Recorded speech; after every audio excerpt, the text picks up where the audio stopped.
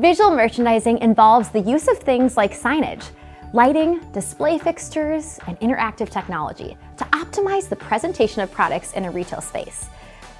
A blend of art and science, visual merchandising has evolved far beyond the motionless mannequins and storefront windows.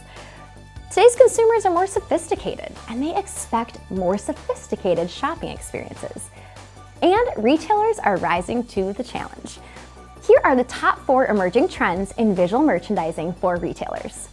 Trend number one, immersive virtual experiences.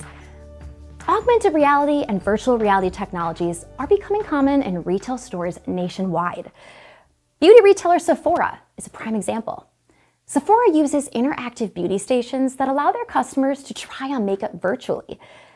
And Best Buy customers are using interactive kiosks and virtual reality demos to experience products firsthand before making a purchase. Trend number two, social media integrations. More and more, visual merchandising is a blend of physical and digital, including social media. Nordstrom places digital screens in its stores that showcase social media content, including customer reviews and Instagram posts featuring their products. And Home Depot uses digital in-store displays to provide do-it-yourself tips and invite their customers to share their own projects on Home Depot's social media channels. Trend number three, influencer collaborations. Retail brands are finding that they can reach new audiences and gain credibility by working with influencers on their visual merchandising.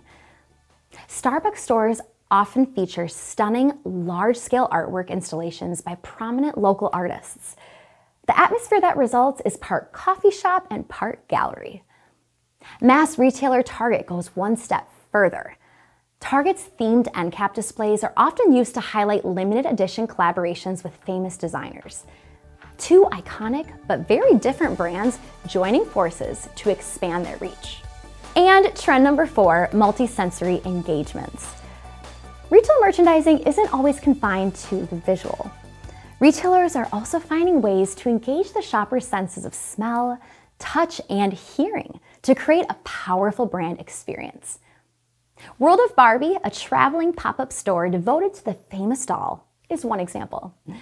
Barbie fans can have their hair styled in one of Barbie's classic looks, sip on a pink Barbie cocktail, and grab a microphone to record a track in the Barbie Sound Studio. And Lush stores are changing the way beauty products are sold. Customers are encouraged to smell and touch the beauty items as they shop. In fact, the smell of a Lush store is one of its most powerful marketing devices. Passerbys can't help but notice the distinctive fragrances and they're drawn into the store.